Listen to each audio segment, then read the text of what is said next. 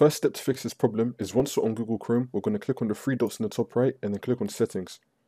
Once we're on this page, we're going to click on about Chrome and then you want to make sure that your Chrome is up to date. If it's not, then it should automatically update your Chrome to the latest version. For the next step, we're going to head over to privacy and security on the left and then we're going to click on clear browsing data.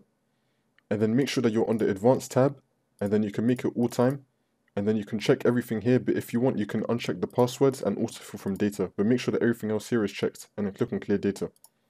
Once you've done that for the third step we're going to click on reset settings on the left hand side and then click on restore settings to their original defaults and then click on reset settings.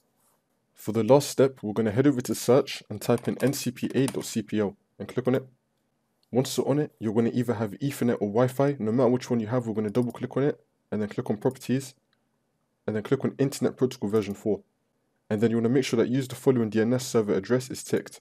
You want to make the first line 8888 and you want to make the second line 8844 and then click on OK. Once you do this, restart your computer, then the problem should be fixed.